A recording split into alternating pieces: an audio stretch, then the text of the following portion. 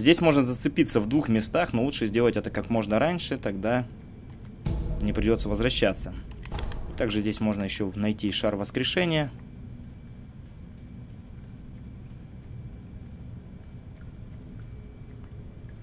И темную пещеру. Так, и здесь нам опять пригодится огонь.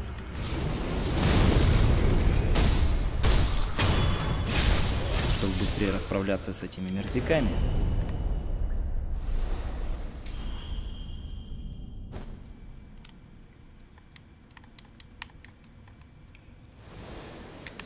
Так, что здесь? Всего лишь пригоршня пепла.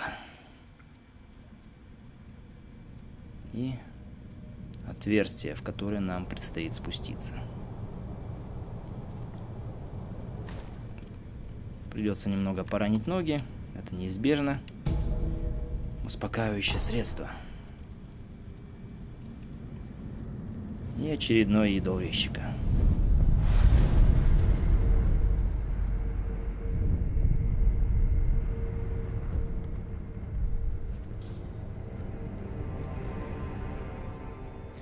Глубины Асина. Очень неприятное место, где можно запросто умереть. И здесь нам может помочь техника кукловода. А также наш зонд.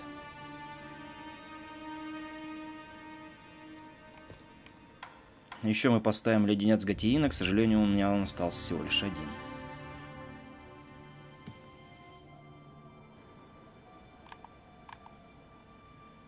Первым делом выносим часового.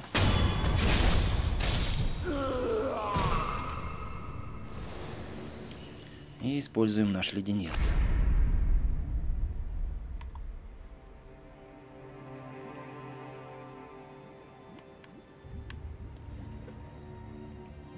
Чтобы незаметно подобраться к стрелку с местным дробовиком.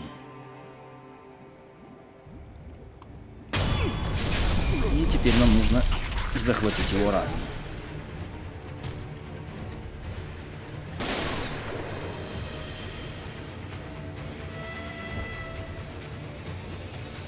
И пока змеиный глаз с ним разбирается, выносим других часовых.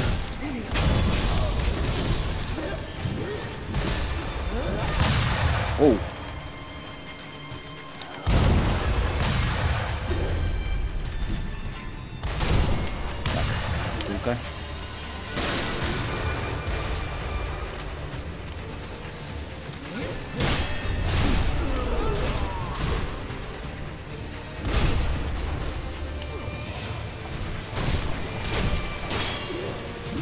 Так, нашего помощника уже вынесли. Не очень хорошо.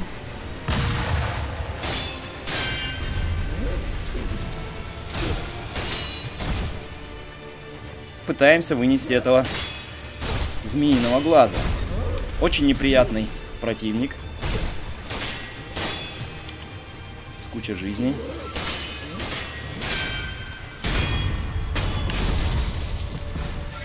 Ну, нам немного помогли, и первую строку жизни мы ему снесли достаточно просто.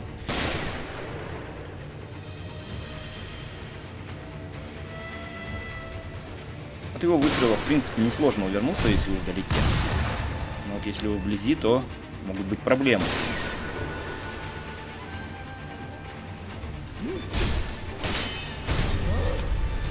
От его захватов лучше всего отпрыгивать.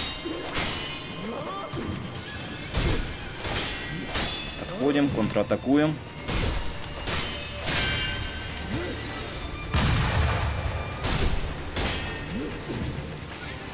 Если у вас возникают проблемы с уворотами, если у вас возникают проблемы с уклонениями, то можно использовать зон.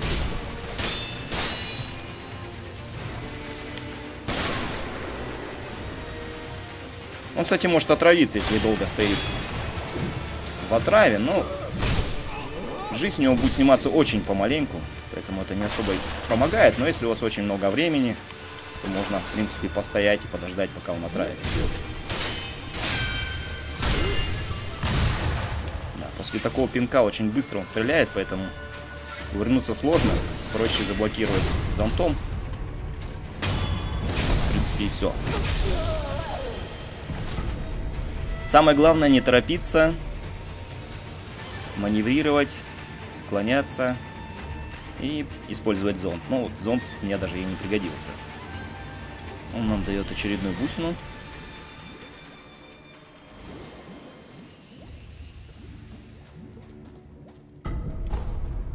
Магнетита, как мы уже читали, глубины Асина очень богаты магнетитом.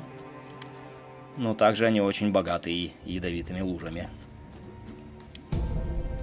Черный порох. Давайте соберем все, что плохо лежит. Дрожжи. Здесь у нас очередной идол.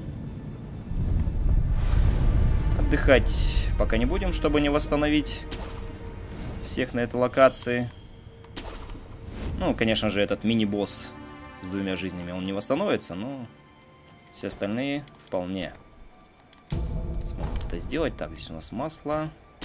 Можно немножко поисполнять несколько акробатических трюков, чтобы забрать вон ту штуку, которая лежит в руке. Здесь нет ничего особо ценного.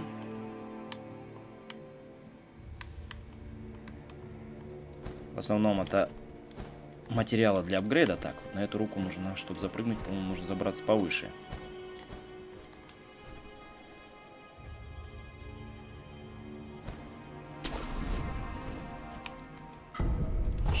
Магнетит. Да. Магнетита здесь завались. Шар трофей. И вроде как это все. Отсюда можно заметить, что на голове Будды что-то лежит, и также там на той платформе что-то лежит. Но отсюда добраться туда невозможно. Но я вам сейчас покажу, как туда добраться. Также здесь можно увидеть, он там наверху вход в какую-то пещеру, туда тоже отсюда добраться нельзя, и туда мы попадем еще не скоро. Это такой, типа, местный шорткат, который может вызвать удивление, когда вы поймете, откуда он ведет, и насколько все-таки продуман мир Секира в плане вот этих вот э, раз, различных ветвлений, развилок, шорткатов, очень сильно напоминает именно первый Dark Souls.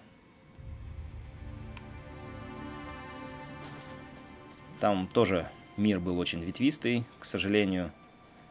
Во втором и третьем Dark Souls уже не все так радужно с этим. И здесь можно спуститься вниз, либо вот как раз можно запрыгнуть сюда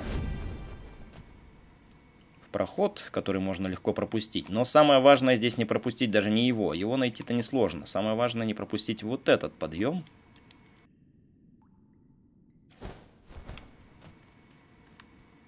Который как раз ведет в место, о котором я говорил. Здесь у нас желтый порох. И самое важное, это еще одна бусина отчеток.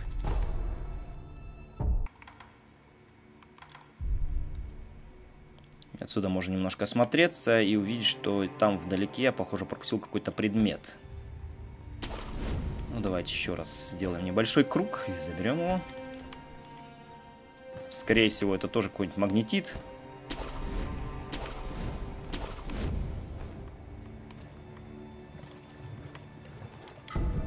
Нет, но тоже неплохой материал, достаточно редкий. Это желтый порох.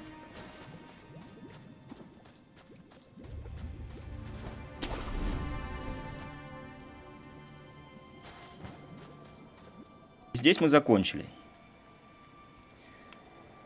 Так, давайте еще раз поднимемся сюда. Только теперь уже дойдем до конца.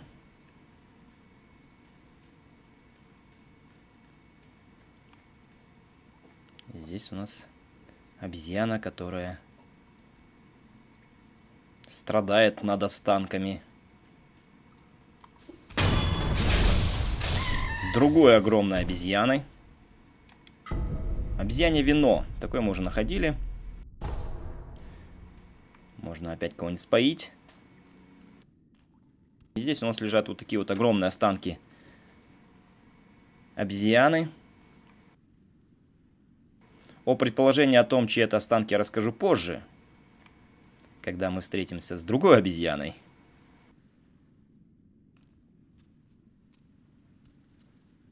И здесь у нас такая вот огромная пещера.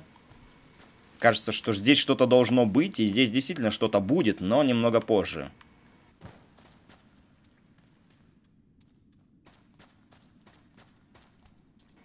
И как раз вот о чем я и говорил, лучше это место пройти сейчас, потому что если вы позже придете в это место, здесь будет босс, причем очень противный босс.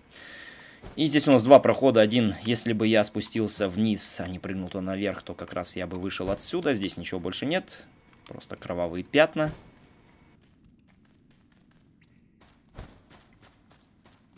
Возможно, это кровавые пятна той самой обезьяны, останки которой мы видели наверху. Но это только всего лишь предположение.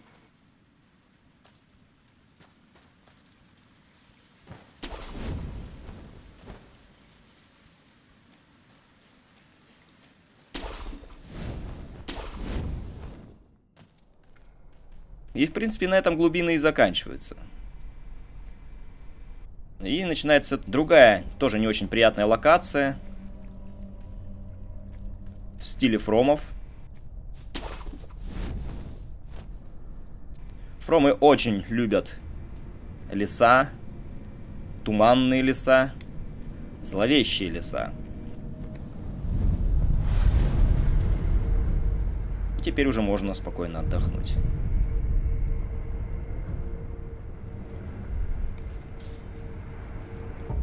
Можно убрать леденцы Гатиина, у нас их не осталось, к сожалению.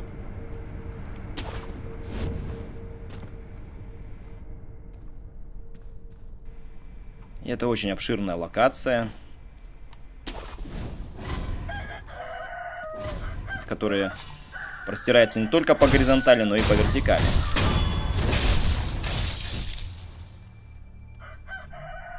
Но я советую вам ее проходить следующим образом.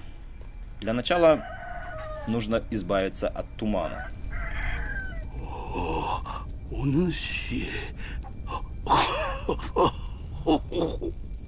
もし御仏の道を知る者ならば仏敵を撃ってはくれまいか仏敵だとそうじゃ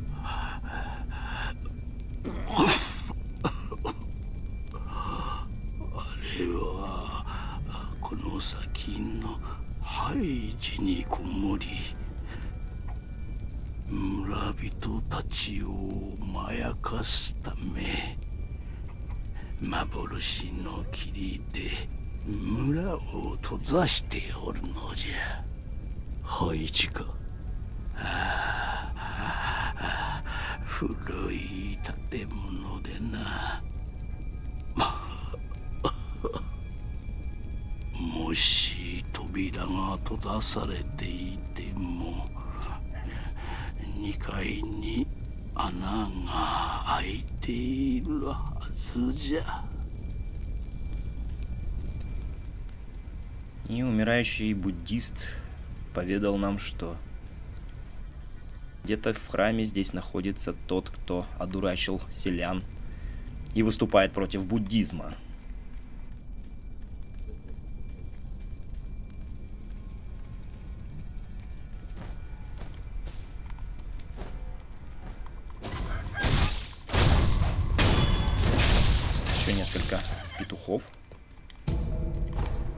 Уже.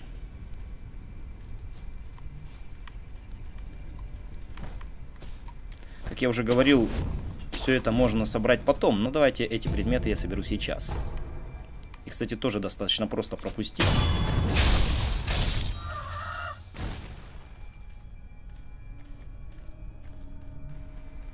Но, в принципе, здесь ничего интересного и нет. И хоть в этой локации очень много различных предметов, но все они не очень важны.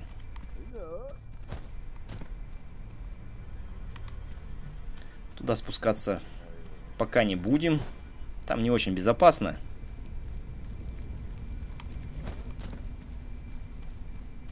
Там обитают духи. И такое мы тоже уже видели в том же Dark Souls 2, в Туманном лесу.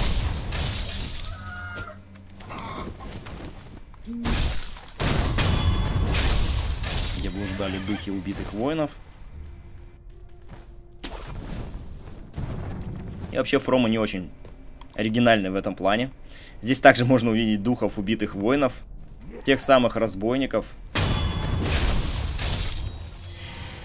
которых мы убивали в поместье Хирата несколько лет назад.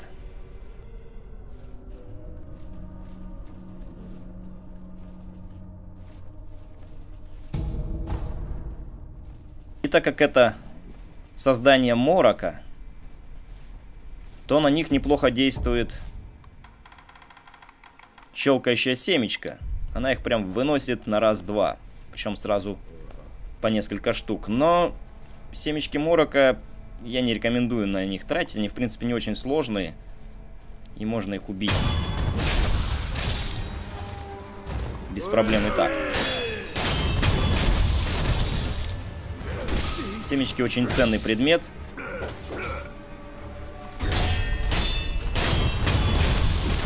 Который не так просто найти и купить. Поэтому на таких вот обычных рядовых противников лучше их не тратить.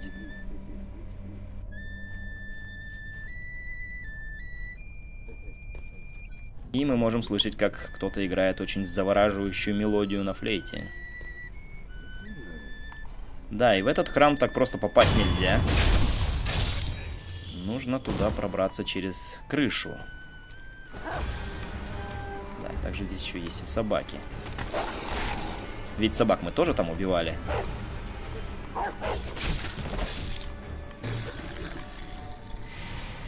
За них, кстати, дают опыт, в отличие от чертогов морока. Собаки здесь вообще умирают от одного удара. Вообще эти духи не особо отличаются слухом и зрением. Поэтому можно их спокойненько выносить.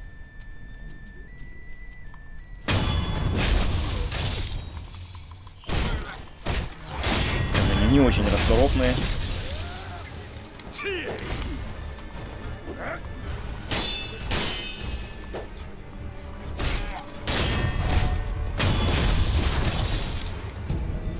масло.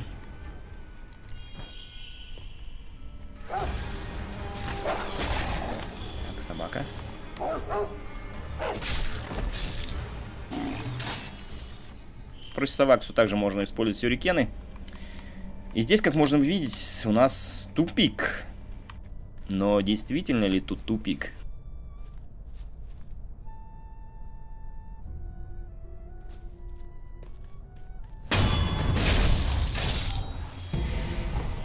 И здесь у нас ловушка.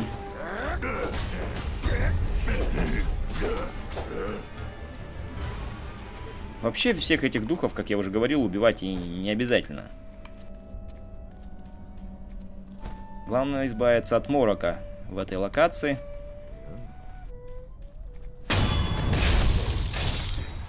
И давайте это и сделаем.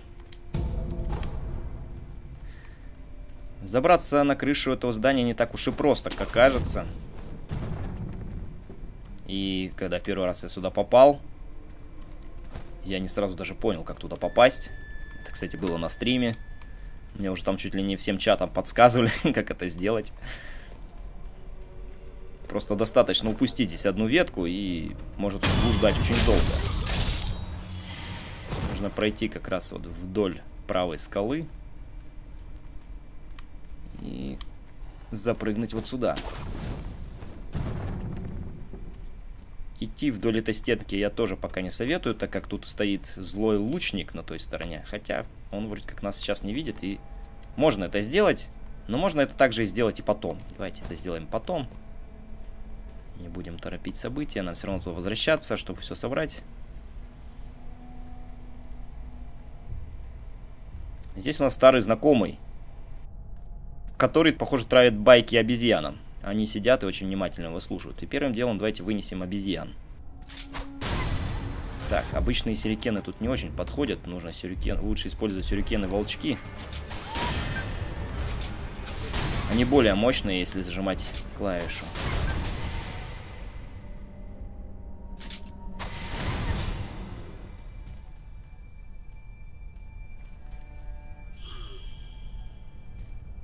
И давайте попробуем. Но не факт, что у меня получится.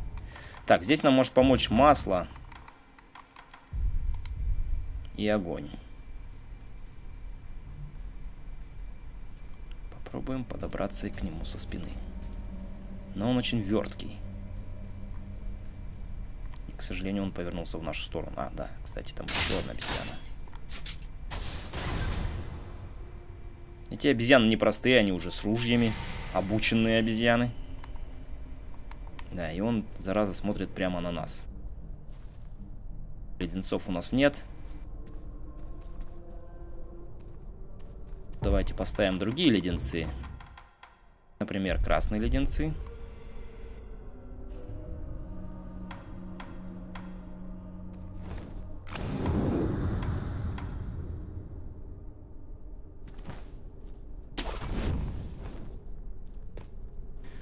Смотрите-ка, он нас не заметил.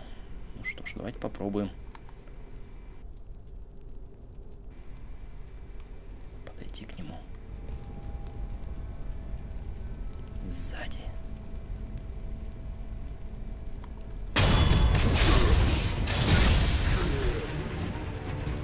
Зира обжора. Кидаем в него масло и поджигаем. И смотрим, как он прекрасно горит. Нанося ему несколько ударов. Еще немножко масла. Кстати, у нас перестал действовать леденец. Активируем. Пока он там опять дует на свой меч. Он любит бухать?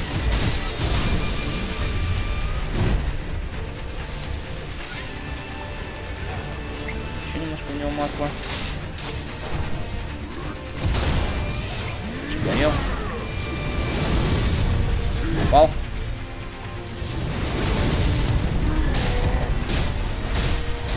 Главное сильно не жадничать. И можно так вот спокойненько, более безопасно убить. Да. Я сказал безопасненько, сам полез. Окей. В принципе, тактика против него такая же, как и первый раз. Абсолютно такие же приемы у него. Неочищенное саке. Бутылка мутного неочищенного саке. Такое мы уже подбирали. И еще одна бусинка отчеток.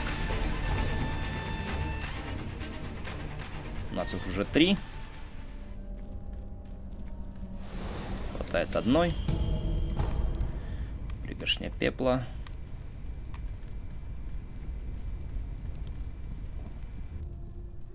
Здесь какая-то непонятная разрушенная хибара. Возможно, это останки какого-то моста.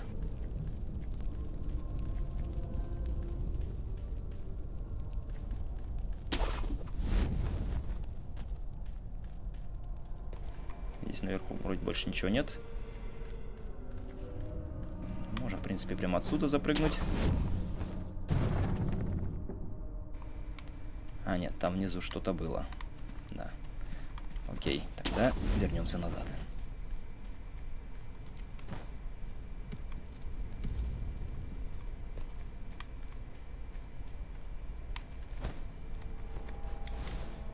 И пойдем по более длинному пути.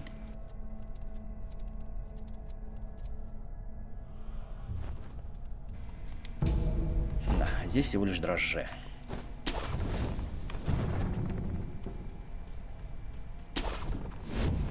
Несколько акробатических движений, и мы практически добрались. Кусок воска. Отличный редкий материал.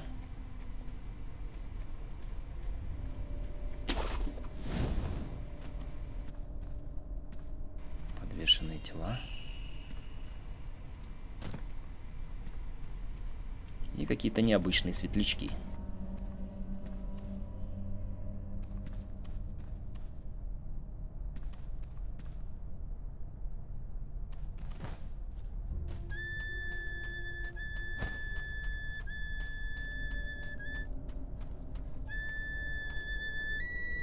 Нас тут на дудке дудит?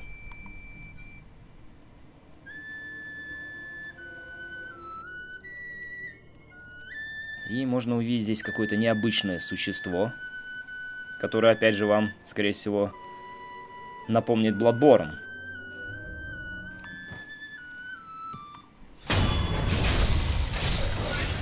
Туманный вельможа.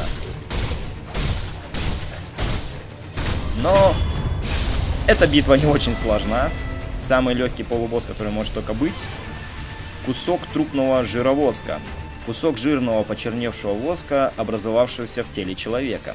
Используется для подготовки оккультных улучшений протеза.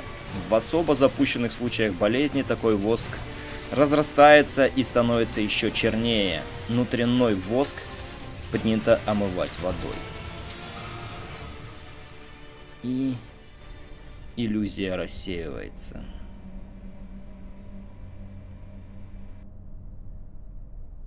И оказывается, что храм уже давно разрушен.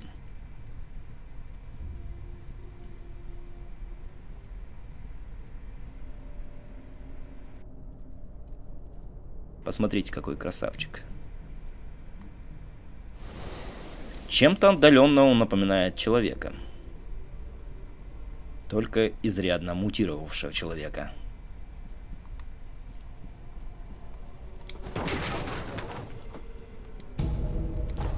Леденец. Кстати, я не помню, читал ли я лор других материалов для апгрейда. Кусок воска. Это похоже на воск субстанция, иногда образуется внутри тела. Ее можно использовать для оккультных улучшений протеза. Скопления этой субстанции считаются предвестниками болезни. Желтый порох, зернышки янтарного цвета, образующие основу для мощного пороха. Ценный химикат, добываемый только в опустившейся долине – Используйте для улучшения огнестрельных инструментов Синоби уровня выше среднего. Желтый порох мощнее черного. Враги, пытавшиеся взять штурмом опустившуюся долину, убеждались в этом сами. Ну, в опустившуюся долину мы как раз еще не ходили. Ну и остальные материалы для апгрейда мы уже читали. И как можно видеть, что иллюзорная скала у нас тоже пропала, и здесь образовался проход. Но перед тем, как туда идти, давайте соберем весь мерч, который мы тут оставили.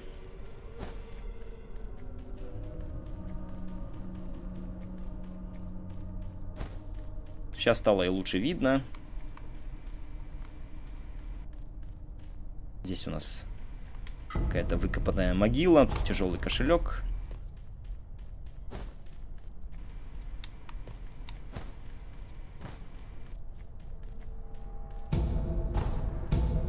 лекарство, кошелек, последний укус, желтый порох.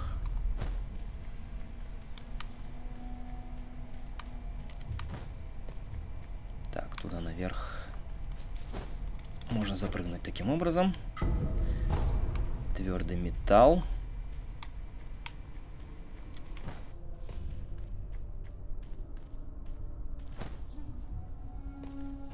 Здесь нам нужно пройти вдоль стены.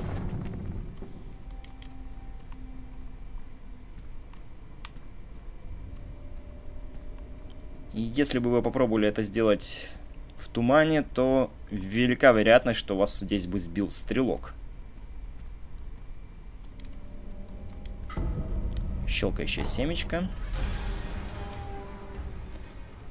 И начинается такая страшная музыка, потому что здесь у нас обитает очередной безголовый.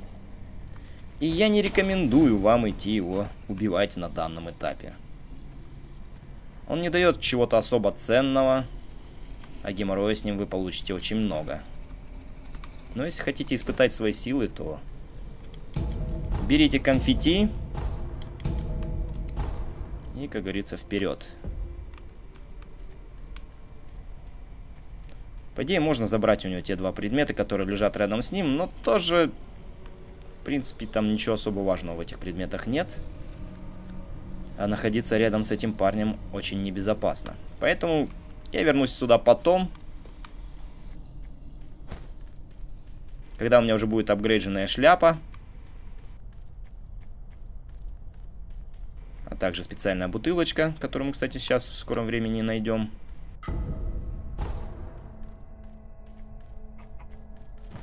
Которая поможет противостоять ужасу.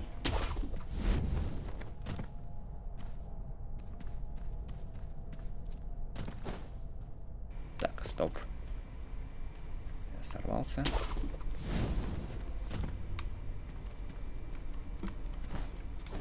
Эх. Не допрыгнул.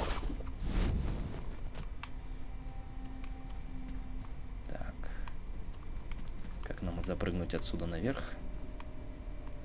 А, вот. Вот он, сучок. Так, здесь у нас сзади еще там что-то осталось.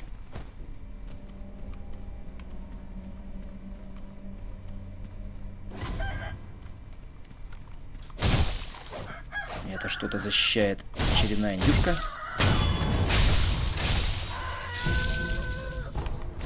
Шар воскрешения.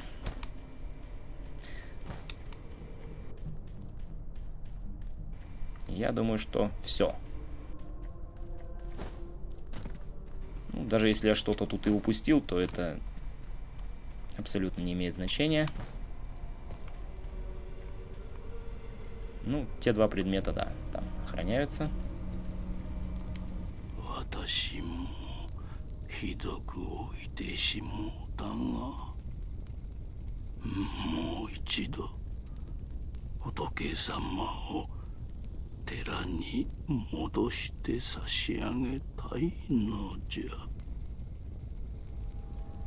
Похоже, здесь тоже местные обитатели не особо любят Будду. Выбросили его статую куда-то в лес.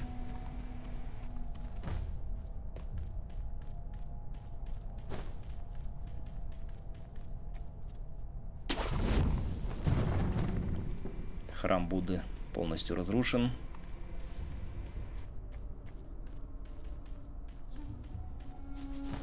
Ну а мы продвигаемся дальше. Больше нам здесь делать нечего.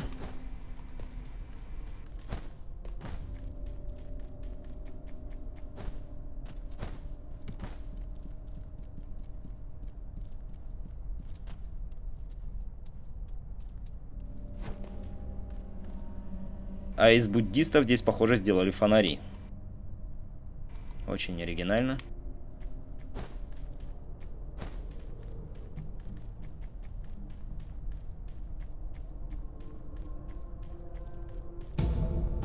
Дрожжи. Здесь нам предстоит очередной спуск. Все ниже и ниже и ниже мы продвигаемся. Отсюда уже можно разглядеть там в тумане какие-то деревянные постройки. И именно туда нам и нужно.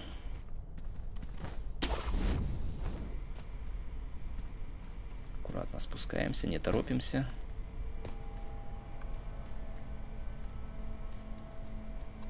Фонари нам как бы указывают путь.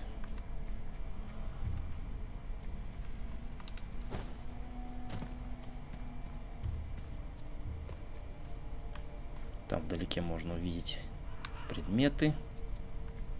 А с той стороны целая стая собак.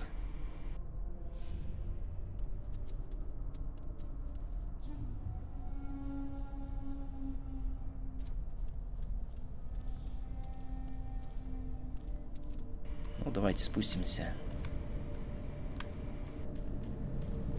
Активируем идола и отдохнем.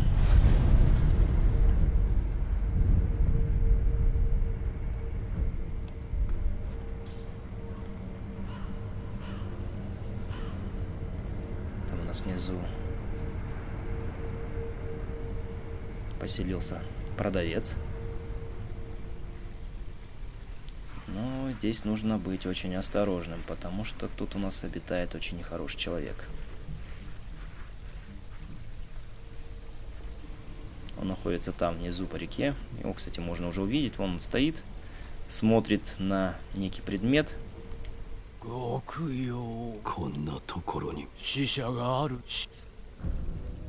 Очередной продавец с подношениями. Леденцы Гатиина. Обязательно надо купить. Они, кстати, не такие уж и дорогие. И также он продает еще несколько полезных предметов. Это чешуя, саке. И самое важное, это пестрая пурпурная фляга. Итого нам нужно 1800, 2800, 3800. Да, немало нам нужно. Три с половиной тысячи сцен. Давайте посмотрим, смогу ли я наскрести такую сумму. Так, 3000. Ну да, вполне.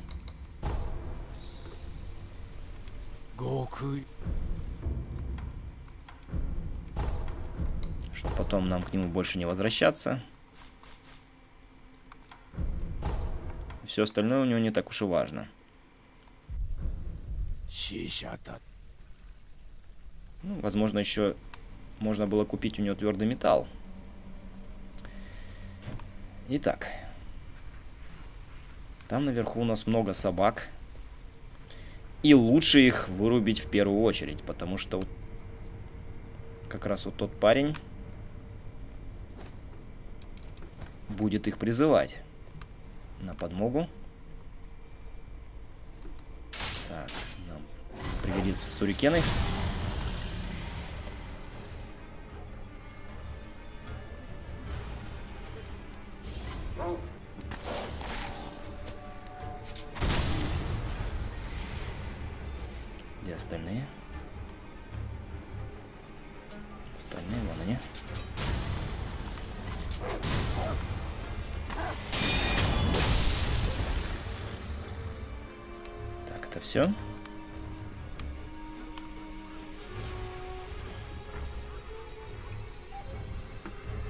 И в конце этой тропы тупик и легкий кошелек всего лишь.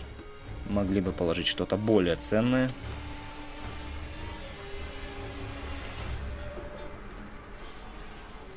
Ну и теперь можно пойти надрать задницу тому, кто находится там внизу. Музыка играет, это, похоже, он нас ищет. Он нас увидел. Что же он тут охранял? Драгоценная чешуя. Ну, хоть что-то полезное. А вот и он.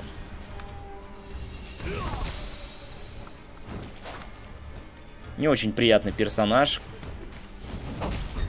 С подобными уже встречались, только этот еще и обладает техникой отравления.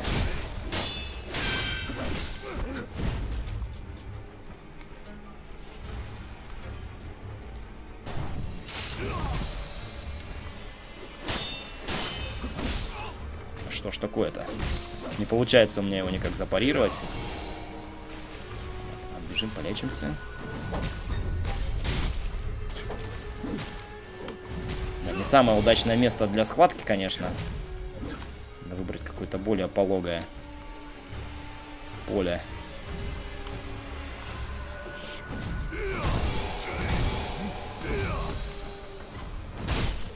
И он практически нас отравил. Так, вот это вот плохо, то, что я там зацепил еще и жителя деревни, который будет нам сейчас только мешаться.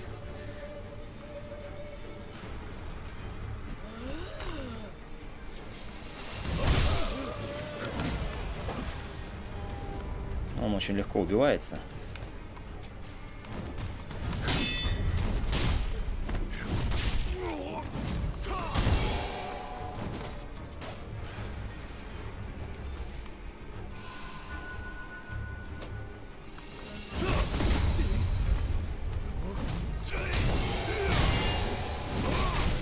Что ж ты будешь делать?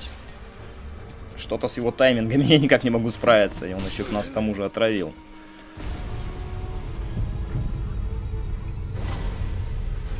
Окей, у нас есть еще вторая попытка. Так, надо настроиться.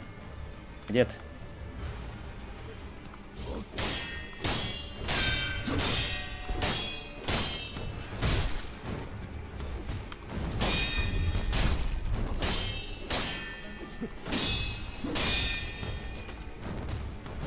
У него слишком замашистые удары.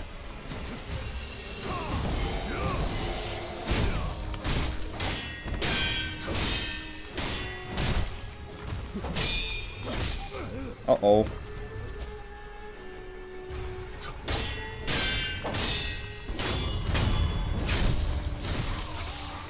Но на последнем издыхании мне все-таки удалось его победить. Магнетит. Но у него, к счастью, всего лишь одна полоска жизни.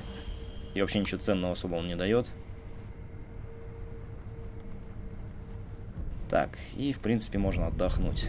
Слишком уж он меня потрепал.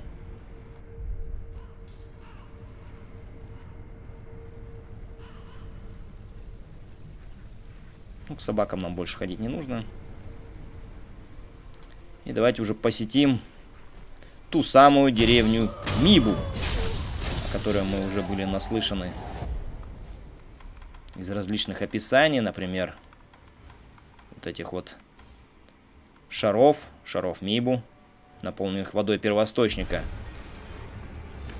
Еще можно сделать вывод, что деревня Мибу как-то связана с водой первоисточника. И как вы можете видеть, жителей деревни здесь не так-то просто и убить. Они практически являются бессмертными. Но они очень боятся огня. Поэтому огненный клапан нам здесь в помощь. Ну и на них, кстати, не так уж плохо фармить. Если вам это нужно. Кусок воска здесь у нас за хатой спрятали. И опять же, отсылаясь к предыдущим играм от Фромов, к тому же Bloodborne, деревня Мибу очень сильно напоминает рыбацкую деревню из DLC.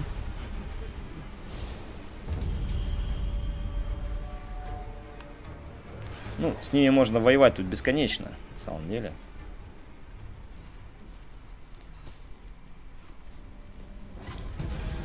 Деревня Миму представляет себя вот эти вот дамы очень опасны, если они доберутся до вас.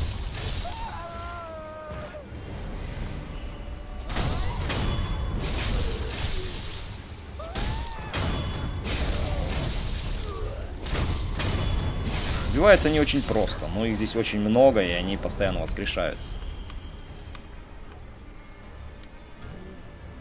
Деревня Мибу себя представляет такое вот место, посреди которого озеро. По сути, она разделена как бы на две части. То есть вот эта вот левая часть и правая часть на том берегу. Такой парень с таким огромным дрыном. Может показаться, что у них как будто на какие-то яйца, но нет, это фляги.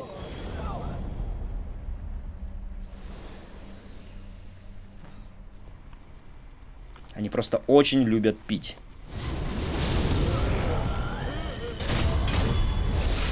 Помню, если их жарить, будут они после этого восстанавливаться или нет. Возможно, их как-то это успокоит. И как мы знаем... И как мы знаем, все, кто как-либо связан с водой первоисточника, точнее с наследием драконов, боятся огня.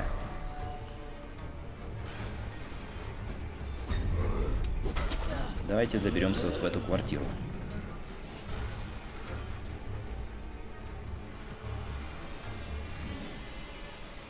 Здесь у нас очень интересный персонаж, который может поведать нам, что здесь происходит.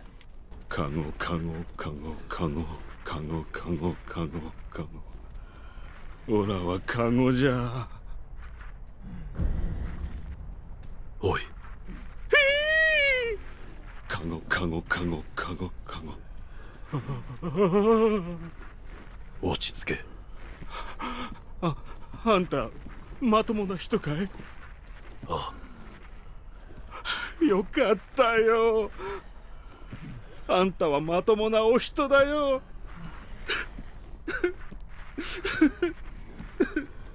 あんた何か聞きたいことがあるのかい？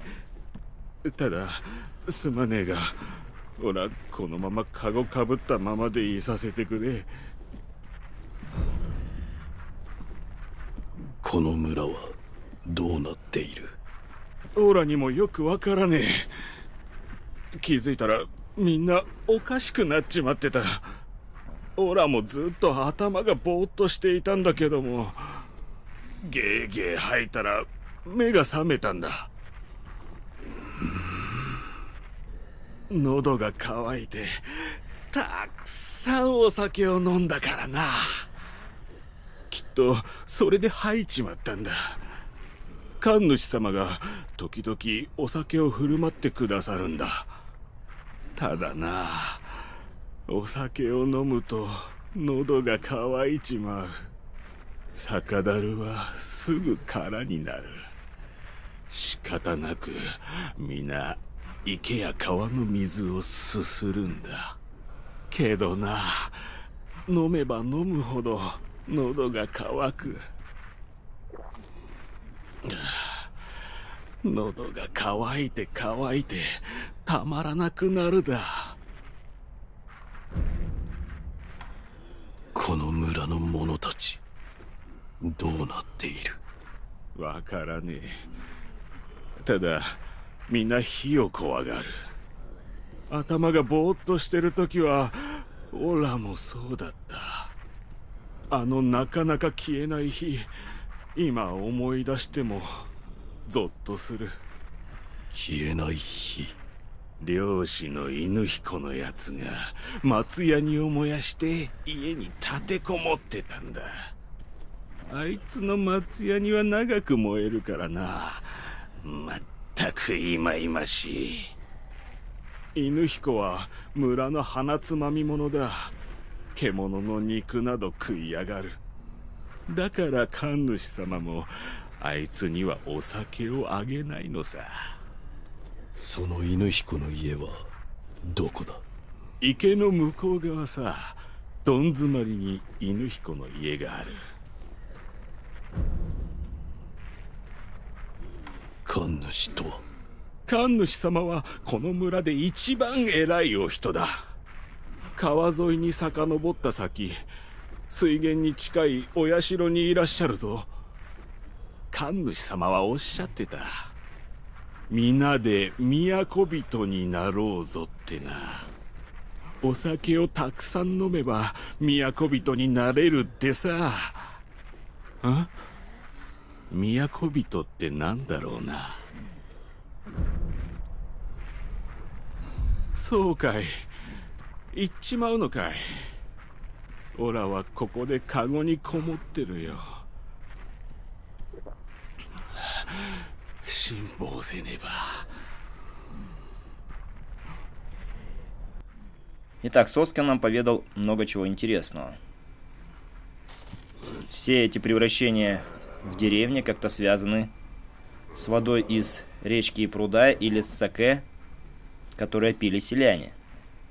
Также он нам рассказал о неком Инухика, который живет на другой стороне пруда и является изгоем. И давайте, наверное, в первую очередь попробуем его посетить.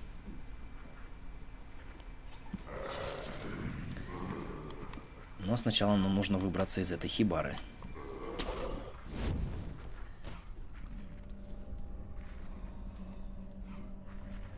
Местные жители меня потеряли из виду. Но это ненадолго. Успокаивающее средство. Их здесь просто кишит.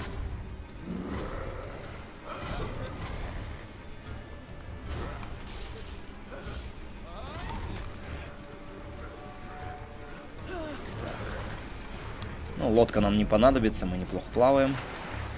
К тому же плыть здесь не так уж и далеко. Единственная проблема это злые карпы, которые здесь плавают в этом озере. Они не очень рады меня видеть. Хорошо.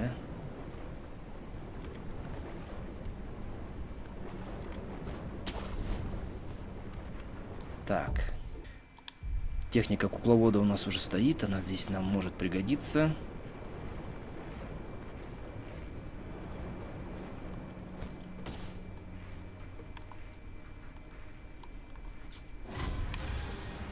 Нас кто-то уже заметил. принципе, нет ничего удивительного.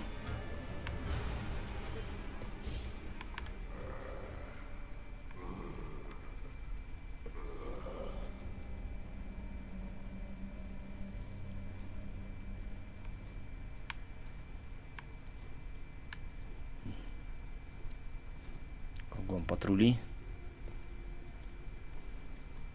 Можно поставить леденец Гатиина, конечно. Но можно также и забить на все и просто пробежать.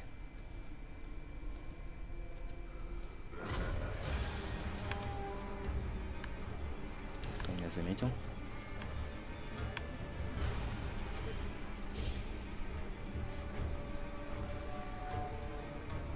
И вот тот самый дом, который нам нужен. И здесь лежит полезный предмет – янтарь из сосновой смолы. Кусок смолы, внутри которого постоянно тлеет пламя. Можно использовать для улучшения огненного клапана. Смола добывается из сосен, растущих у деревни Мибу. Раньше путь в деревню можно было найти по дыму.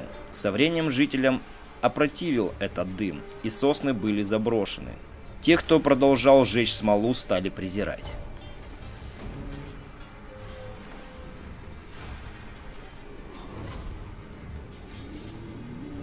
Кажется, к селянам пришло подкрепление.